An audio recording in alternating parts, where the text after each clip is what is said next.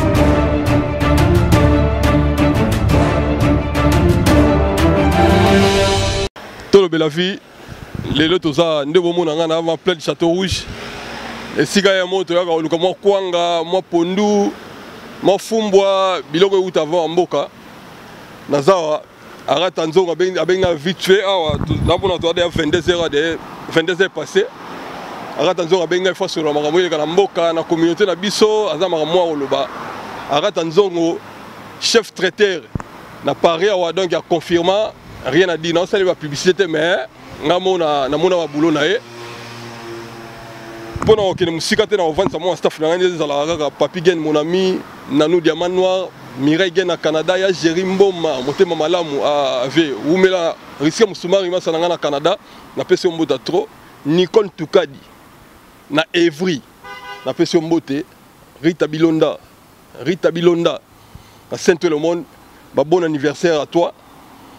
nabosani te Gelor Beloko Igelu Sansu nabosani te Dadi Lontange Fekato Bokila Lokondo Arata Nzongo chef traiteur ndeko na Didier Nzongo oyebi ke barape chinois baluwe eh? akata nzongo boni eh, ndenge ezalaka kaka premièrement oui. bonsoir bonsoir boni santé très bien par la grâce de dieu bafani nyonso oyo bolandaka biso na média e arata nzongo toujours je suis bien à bonne santé nasepeli komona yo nouvelle nini oza nango wana eh, lelo toyeli bino eh, voilà bolobaka o totutulaka o eh, tokolembula o toza basystème o bato oyo dérange bafemme saine o bapapa nde bakabela mibali te o basi nde babengana biso na bandako toyeli yango te aujourd'hui on est venu pour conseiller les gens les gens ils comprennent rien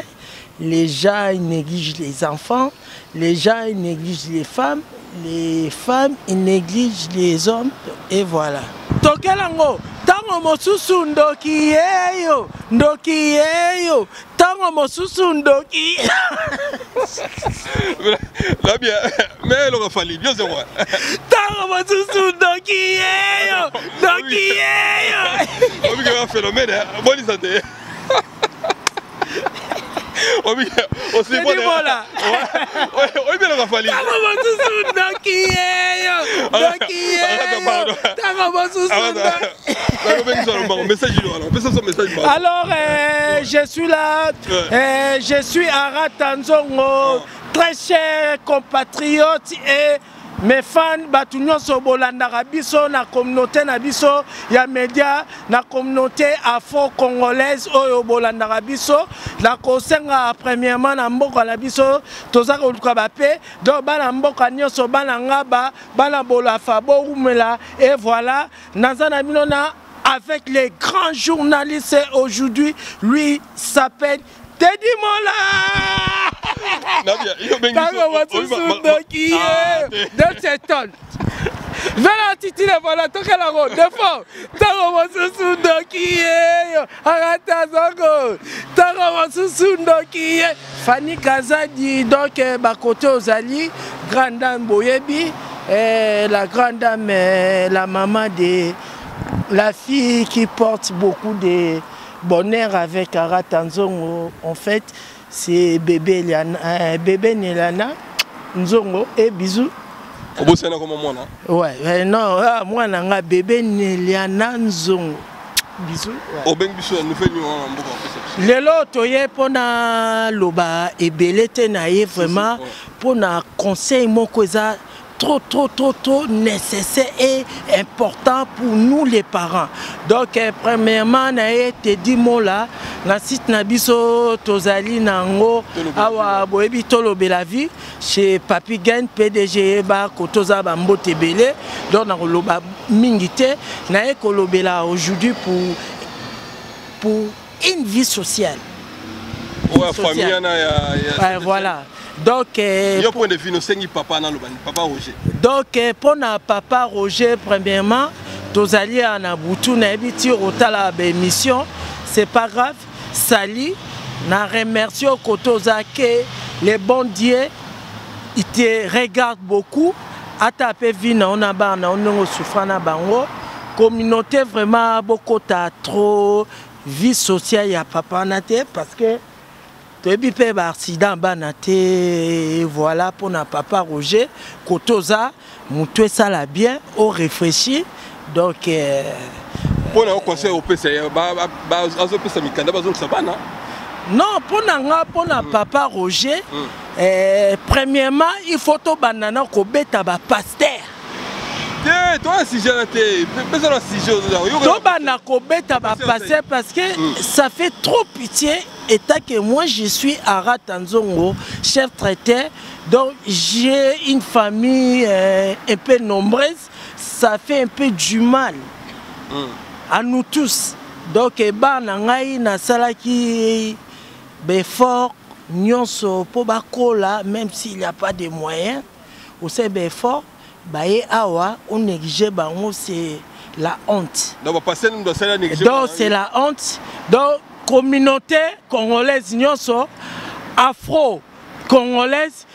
tobanda kobeta bapasteur babomi bafamille na biso Nous, on ne rentre pas dans leur vie des familles des passés, mais et les passés rentrent dans notre vie parce qu'on est trop bêtes. tozoloba masolo bango bazomemela bafamille do bafamille ya détricage ah, do ya plus de ah, passe ah, do tobeta bapasse mpo ngai na papa wana nakopesa raison te nakopesa ye tort te donc eh, toba non voilà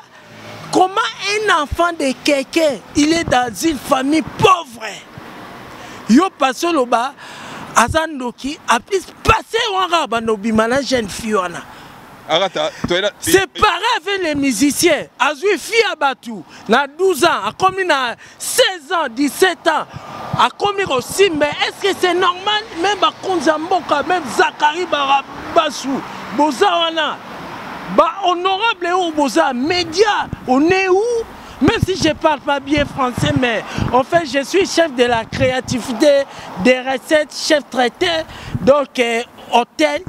bar bistrot et à tout à collaboration je suis avec vous donc naningi ah, te koloba ebele parce que c'est la honte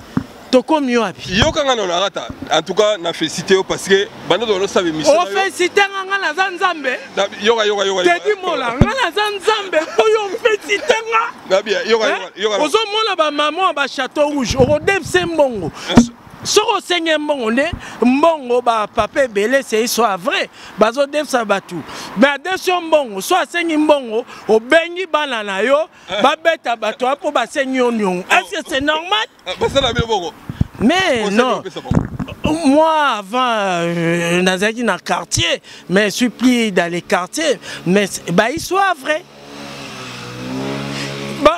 barestaurant ba, ba ebele eza na kotanga bakombo bazwi yango na bambongo ya bato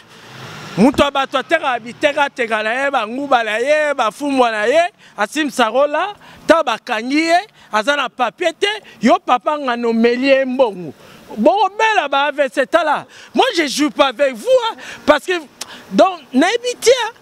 nayebi te na bamama mosusu tala Ba masoko la no tele la ba kola. Ko finga te. Toi toi la TV. Ko finga te arata s'il te plaît. Bon, bon excusez moi, c'est pas grave. Ah, ouais, ba congolais et les congolaises bemission na ngai nasalaka botalaka yango te peti na ngai olgamat aza na bruxelles ayebi bamasolo bato balingaka ngai te nazali na ba yolande ngeleka bapeti na ngai batalaka biloko donc eh, naza na bacollaboration ebele eh, deps eton eh, oyo vie bokul abimisa vie na ngai deps eton amema ngai mpa vie bokul estce nalobelaka yango bomona biso ti bomona biso ti bomona biso na bakaida tosala ba 6 semaines nga azanga la vie beaucoup je mange avec vie tosala tout nalobaka ngo lelo bomobenga ngo arata nzongo je suis comédien je suis un artiste humoriste est ce que c'est mon métier eza métier na nga mpo na famille wana eh, tedi mola lelo nakomema yo likolo te nalimbisi yo mwa moke parce que na ngai na memo likolo na ngai na memo na fokolo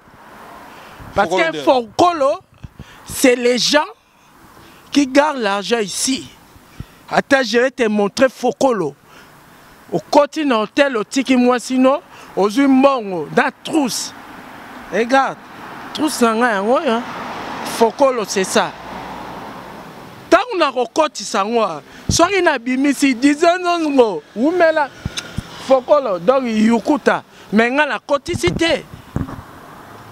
merci akata akata merci vraiment namoni message wana eza cri ya vie na nga Didier Nzongo asali donc biso nyonso fokolo soki obombaka mbongo awa ntango okokotisa okobimisa okoyukuta donc Didier Nzongo wumela kote Fanny Kazadi azali apesi yo bambote ebele eh, nazali osi na masa na ngai Olivier Moleka eh, na Tunisie kote ozali eh, le grand chequin Vraiment mangokoto ebele niekese nazali aussi na ntango mosusu ndoki yeyo ndoki yeyo ntango mosusu ndoki yeyo ndoki yeyo na bino baseko voilà kata nzoko tokomi na biso na suka mwa dédicace ya bato na yo mpo tosisa na biso yeye yo osenganga dédicace nga na musicien oh, namoni oyo alisa babanga ah oyo oh, vraiment euh, ezali mpe eza neti mbanga moko eza ya vaudou ebungi nakopesa bino eh, banouvelle oyo ya orchestre na biso ya président didier lacoste eh. toutaki kozanga mama moniki boyebi bientôt donc eh, lobi toza dimanche tozali na concert boyebi eh, na bacollaboration nyonso oyo basoutenir biso tokosenga vraiment premièrement merci na vie na biso mopao kofi olomide etat que je suis conseiller de didier lacoste maifoudre moto ya bachéri moto ya bagénérique donc eh, tozali na congo les grands artistes oyo azali kosoutenir biso kofi olomide premièrement merci Na volonte oyo otikaki famille na yo oye ko soutenir orchestre ya petit na yo Didier Lacoste hein? merci beaucoup deuxièmement na ko remercier aussi vieux na nga Werrason ata ayaki te mais ako repenser aussi pour Didier Lacoste asala Pour na orchestre wana mais j'espère que vieux azalaki na temps te parce que peut-être azalaki na ba voyage donc eh, koto ozali vieux oyo son nasepeli na ndeko na ngai ladi esobe tovoyageaki na ye na ba bruxelles na belgique na hollande na Suisse oyo asalaki mpo na eloko oyo yo osali oyo ke ebinisi mboka donc zenga luketu donc werrason zenga luketu donc nazali artiste comédien te mpo nabina yango ou mpo nayemba yango merci beaucoup nakoremercie aussi feregola bakanisaka ke te un garçon ta de l'argent T'es mauvais. Mais merci pour soutenir Didier Lacoste. La Corée, merci aussi Papa Nabiso, Adolphe Dominguezi, Koto Zali. Vraiment, Dieu, le bon Dieu de tout puissant, le bon Dieu de Aratanzongo. Je suis Maïfoudre. Adolphe Kolala, t'es zonga la musique parce que yoza Adolphe de Yoji Yamamoto. Donc, na koloba mingi te.